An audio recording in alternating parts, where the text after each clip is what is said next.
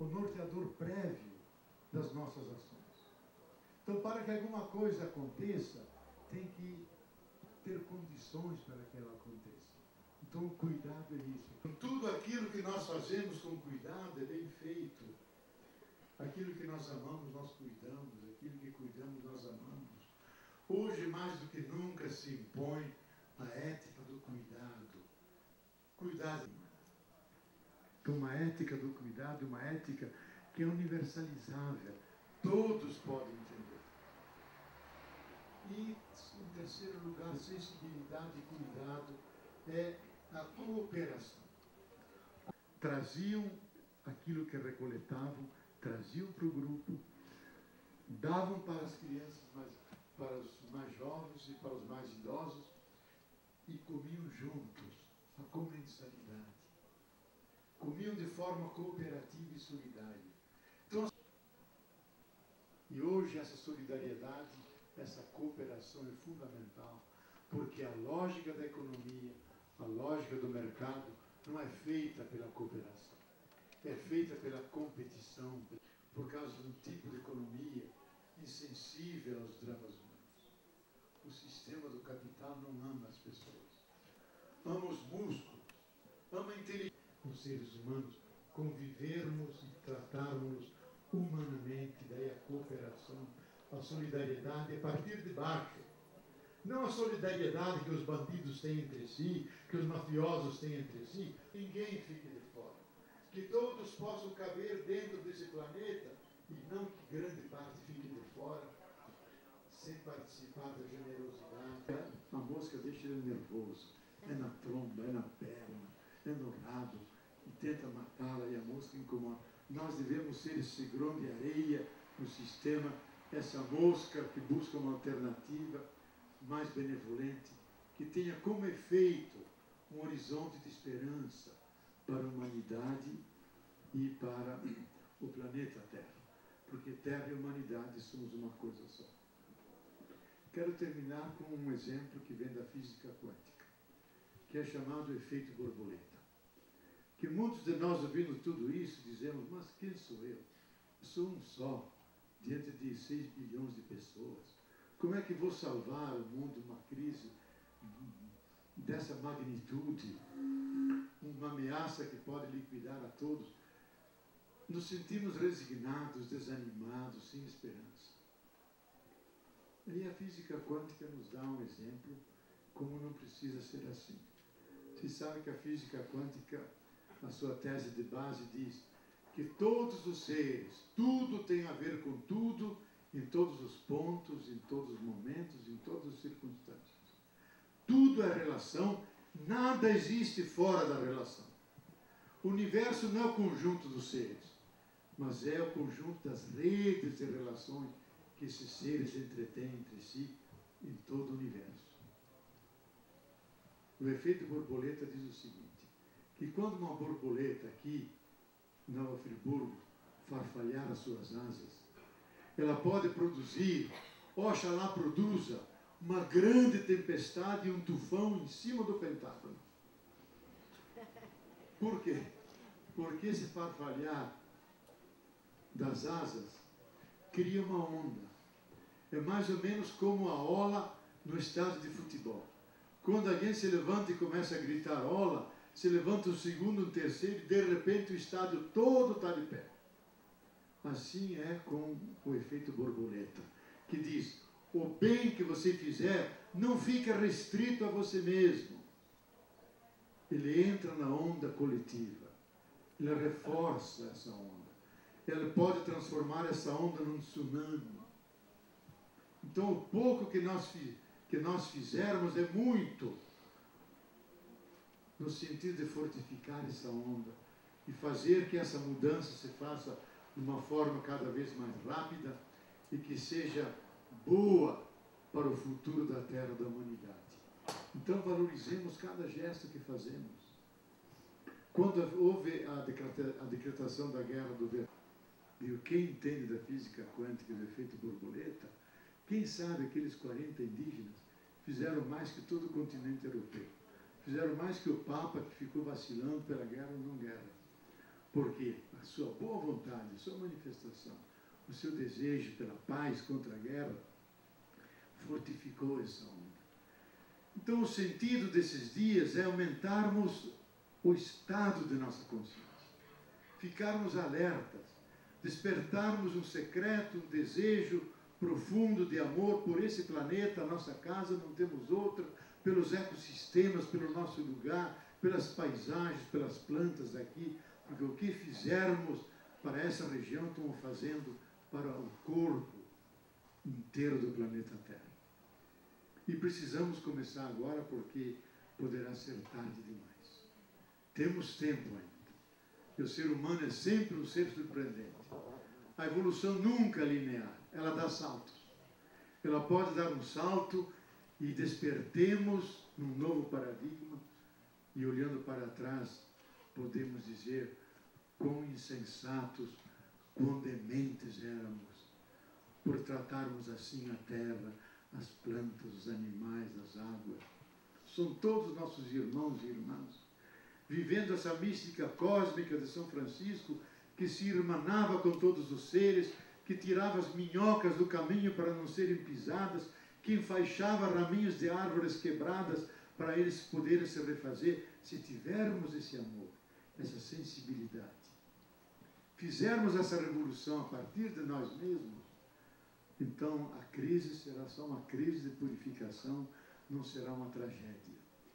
Nós que nascemos no coração das grandes estrelas, porque lá se formaram todos os elementos que entraram na composição de nosso corpo. Se nós nascemos no coração das estrelas, como diz o poeta, não foi para passarmos fome e miséria, foi para irradiarmos. E nós vamos irradiar. Num planeta mais sensível, numa humanidade mais solidária, mais cuidadosa, com um futuro mais ridente para a Terra e a humanidade. Muito obrigado.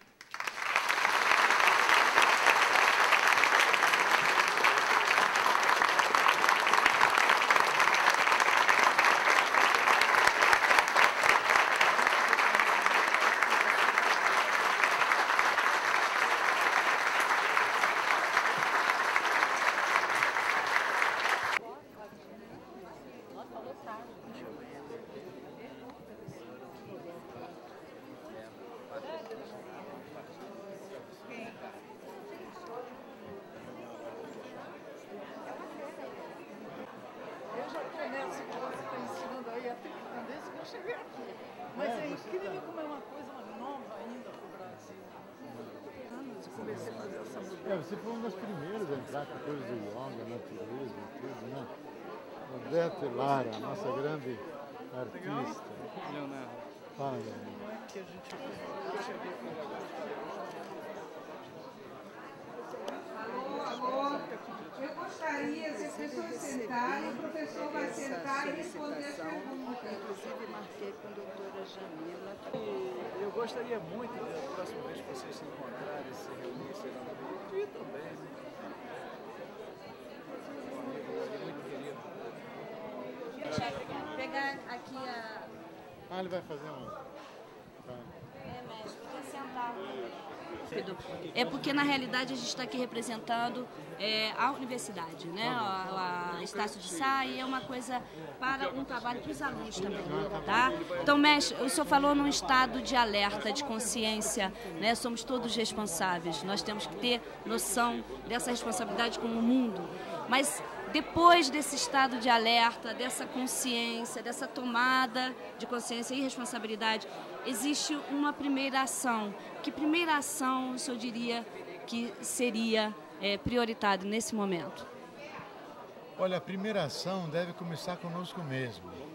Isto é, primeiro mudando o nosso olhar sobre as coisas, mudando a nossa consciência do risco que vivemos e, fundamentalmente, mudando a nossa prática. Isto é, começando em casa. Por exemplo, a seleção do lixo. Primeiro, não criar lixo, reduzir o nosso consumo, reciclar, reutilizar, reduzir, eh, evitar de queimar coisas que possam poluir a atmosfera e eh, também reeducar a nossa linguagem, fazer uma terapia da linguagem para que ela não seja discriminatória, sexista, que não seja uma palavra dura, que ofenda o outro. Tudo isso cabe dentro da ecologia mental, ecologia social. Se nós não começarmos por nós mesmos, mudando, entrando em sintonia mais fina com os ritmos da natureza, do sol, da chuva, da terra, nós não vamos criar hábitos novos que sejam inauguradores de um, novo paradigma, isto é, uma nova forma de relacionamento com a natureza. Obrigada, mestre. Eu vou assistir a... O senhor vai dar entrevista agora ah, tá. também, tá. né? Então vou assistir, disse que o senhor vai responder uma... Água. Posso? Tá. É, doutora Saudade, é, as palavras do mestre são contundentes, né? É, nos chamam a uma grande responsabilidade, cuidar do planeta. Qual é a opinião da senhora como mulher e como prefeita em relação ao que o, prof... ao que o mestre Leonardo é, Boff disse? Olha, realmente ouvir, ler Leonardo Boff é sempre um momento de uma emoção muito grande. E quando ele coloca a questão da sensibilidade como uma questão principal, né, como um tema principal no ser humano, não apenas em relação a cada ser humano, mas em relação à terra de uma maneira geral, terra e humanidade, eu acho que ele coloca, vamos dizer, ponto certo no lugar certo, para que a gente pensa, para que a gente reflita. E quando a gente pensar principalmente na natureza, mas incluindo nessa natureza o ser humano, a gente vê o quanto é importante o nosso tratamento em relação a essa coisa que está tão unida que é natureza e ser humano. Em relação ao Festival Muricine, isso é o primeiro evento, obviamente ele vai é, fazer parte do calendário né, turístico da cidade, é um grande evento e o tema principalmente, né, que é uma, uma, uma preocupação do mundo inteiro, é, qual a opinião da senhora em relação à criação desse movimento e à programação que foi feita aqui em Muri? Olha, o Muricine nós apoiamos o projeto desde o início. E, como eu falei, é um sonho que já está sendo é, realizado, mesmo a duras penas, com muitas dificuldades, mas que a gente espera. É, com o apoio do governo do Estado, com o apoio do governo federal, porque essas instituições, quer dizer, governo do Estado, governo federal e tantas outras instituições devem estar unidas num projeto como esse. E eu acredito, para que não dependa apenas de tantas dificuldades, de tantos esforços apenas de um grupo. E nós temos muitas esperanças de que isso aconteça. É um projeto importantíssimo para a Nova Friburgo, não apenas como esse projeto, vamos dizer, de levar as pessoas essas informações, de discutir com as pessoas essas informações, mas de transformar também Friburgo num polo de uma informação tão importante e de trazer para Nova Friburgo as pessoas para discutir esses pensamentos. É, a Carta da Terra uma vez reuniu grandes empresários ingleses, norte-americanos e alemães para discutirmos isso. Eles trouxeram seus cientistas e nós os nossos. E a cada argumento nosso eles tentavam rebater, mostrando que nós éramos alarmistas. E terminou dizendo: os nossos negócios vão muito bem, enquanto os negócios não, não piorarem, não temos nenhuma razão para mudar. Só que hoje nos damos conta que a Terra não tem mais capacidade de sustentabilidade. Isto é, o tufão eh, Katrina, a reativação dos, dos terremotos, o degelo crescente, por isso a subida do mar. E a coisa espantosa que foi verificada do ano passado para cá, que o aquecimento está muito além daquilo que se previa, deslocando as correntes marítimas. Por exemplo, a corrente marítima do Caribe que vai para a Europa e torna ameno aquele clima, ela vai para lá, ela vai para o profundo, volta com águas frias, e é o risco que nos próximos 15 a 20 anos a neve chega até Londres, fica toda aquela parte do norte da Europa vira uma Sibéria. Por quê? Porque o frio vai aumentar, quer dizer, nós estamos percebendo que os invernos são mais rigorosos, o calor mais mais uh, aumentado. As regiões de seca são muito mais prolongadas regiões de inundações muito mais devastadoras. Isto é, a Terra está buscando um novo equilíbrio.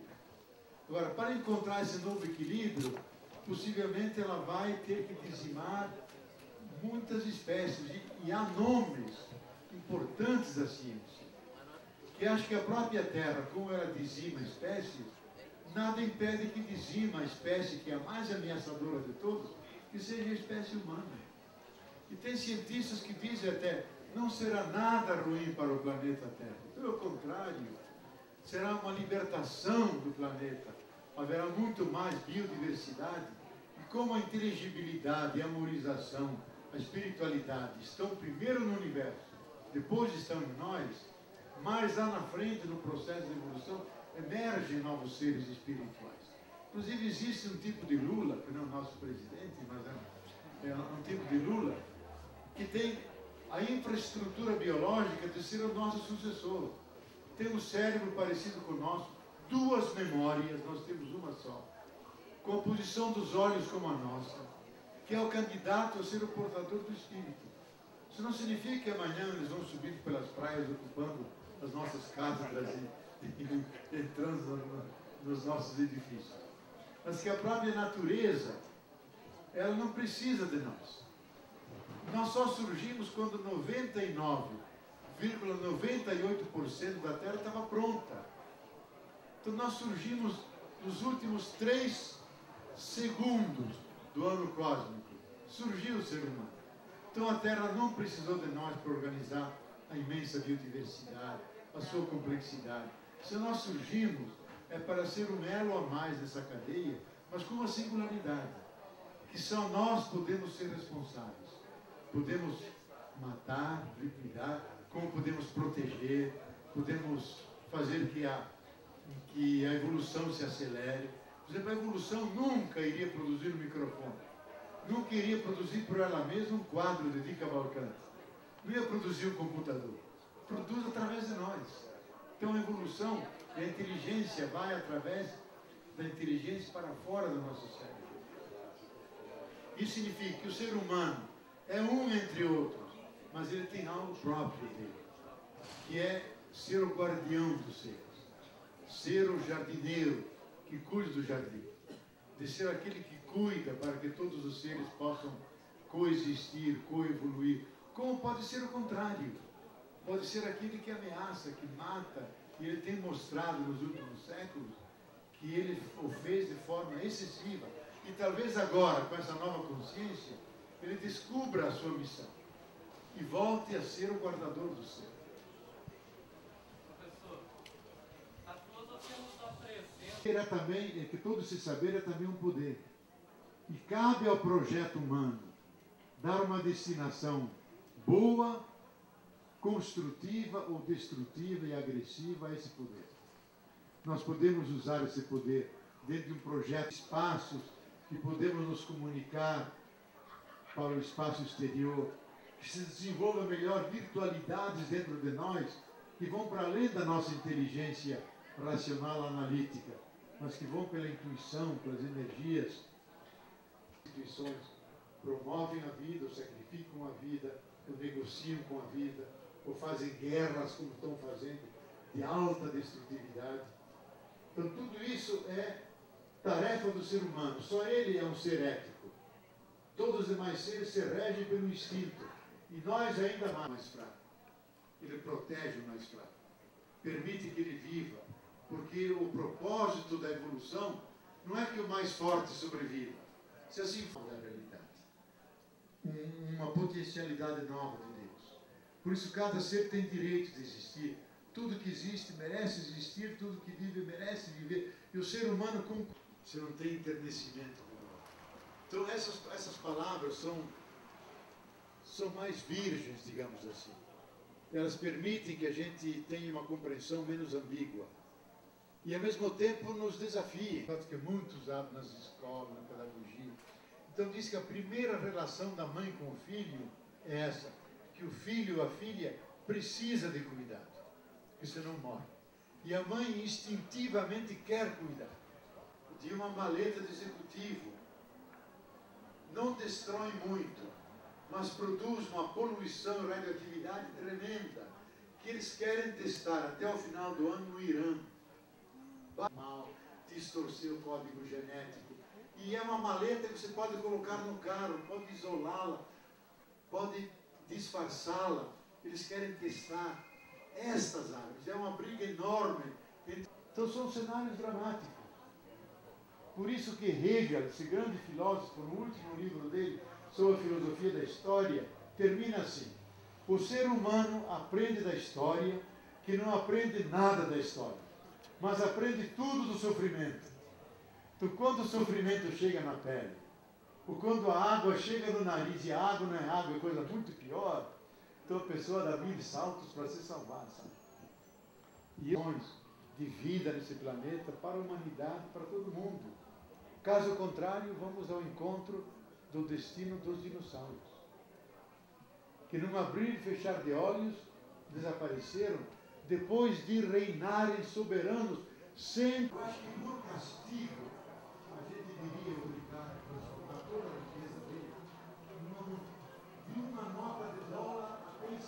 41 vandais, só para acumular as notas de dólares da fortuna dele.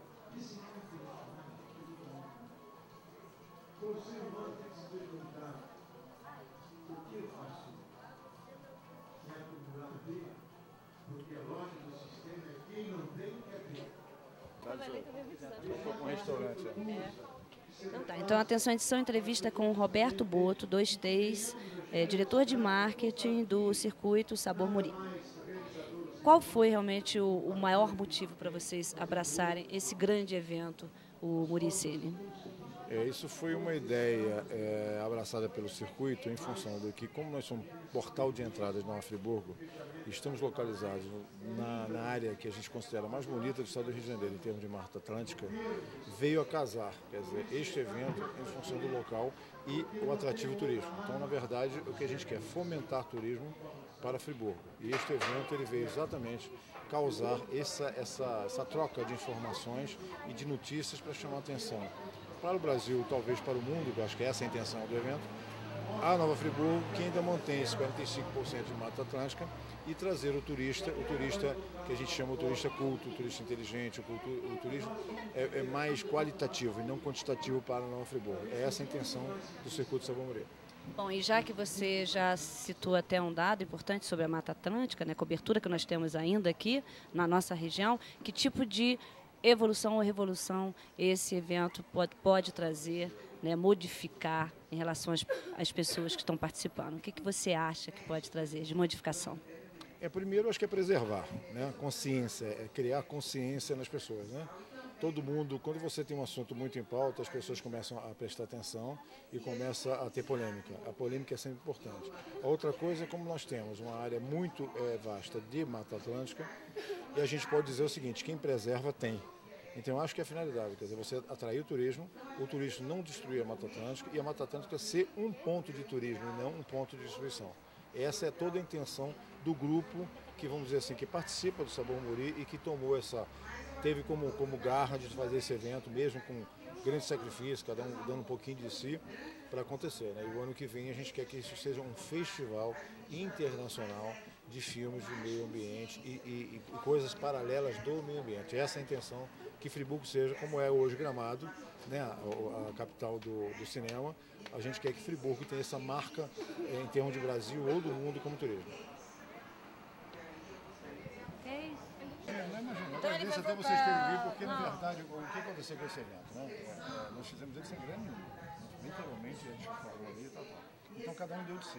É, um deu, a participação de todo mundo. Então quanto mais, quanto mais a gente poder ser mostrado é. como evento, isso vai refletir uma, uma qualificação para que o ano que vem o nosso evento, que já está aprovado pela Secretaria do Ministério da Cultura, com captação, lei Rouanet, está tudo ok. A, gente... é, a data, a data realmente foi ingrata para a questão acadêmica, porque os alunos estão fazendo os trabalhos para entregar agora essa semana. Então eles vão, tem que encaixar.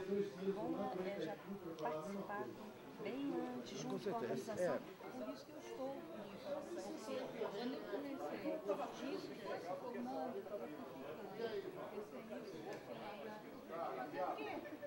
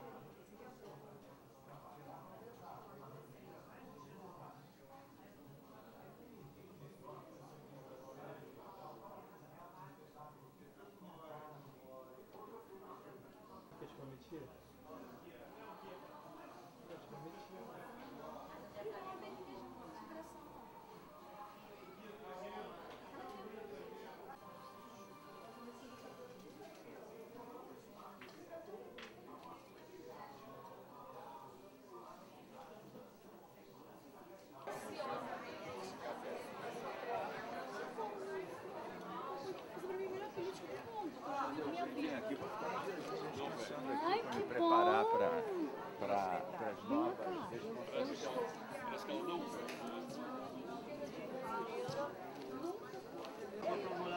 Opa! Tá bonzão? Tudo bem? Vai. Tudo bem? Visitar aqui as vossas É, é. áreas ecológicas. As áreas ecológicas. Lá tem muita coisa. Com certeza. Glória, Glorinha, claro, a nossa rainha da cultura. criada com a família dela, eu era criança, a gente viu aquelas coisas de ditadura, então a família da sobrinha dela, da Andréia. Ah, tá. Eu adoro a Glorinha. vital muito grande, determinadas medidas para que a gente possa continuar a fazer a proteção e a conservação desse, desse torrão né, do Brasil tão privilegiado de Mata Atlântica e de água que a gente vive.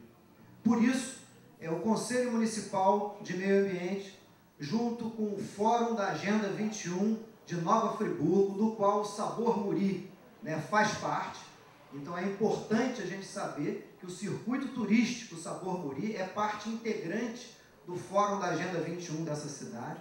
Nós chegamos à conclusão que para essa empreitada do meio ambiente dar certo nesse estado, nós precisamos fazer algo que já foi feito em vários estados do Brasil, que é a aprovação de um projeto de lei do deputado Carlos Mink, que foi derrotado no governo